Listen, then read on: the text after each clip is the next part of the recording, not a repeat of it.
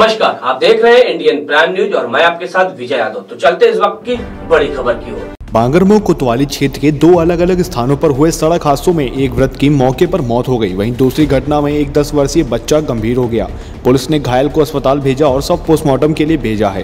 पहली घटना में बांगरमऊ, लखनऊ मार्ग पर ग्राम तकिया के पास साइकिल से बांगरमऊ आ रहे एक साठ वर्षीय वृद्ध को अज्ञात वाहन ने टक्कर मार दी। सूचना पर पहुँची पुलिस ने उसे एंबुलेंस सी भेजा, जहाँ डॉक्टर ने उसे मृत घोषित कर दिया।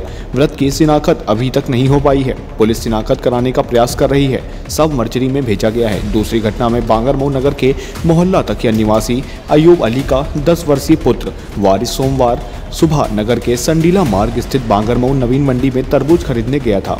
जैसा ही वह तरबूज लेकर घर की ओर चला तो पीछे ट्राली मोड़ रहा एक ट्रैक्टर उस पर चढ़ गया, जिससे उसके दोनों पैर टूट गए और वह गंभीर घायल हो गया। आनंद फानन उसे सीएससी लाया गया, जहाँ चिकित्सकों ने उसकी गंभीर हालत देखा। जिला अस्पताल भेज दिया, हालाँकि स्वजन उसे निजी अस्पताल ले जाने की बात कह चले हैं। Bureau report, IPN.